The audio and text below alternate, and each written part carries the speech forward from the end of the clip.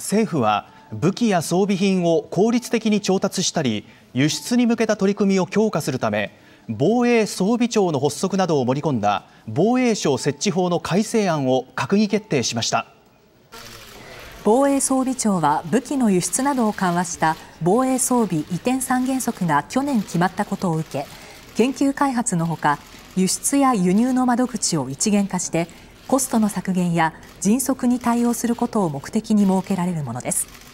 防衛省は改正案を今の国会で成立させ今年秋に1800人規模での設置を目指しています。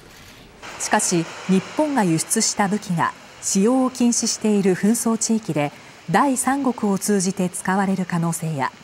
権限を集中的に持つ防衛装備庁と防衛産業との癒着なども懸念されています。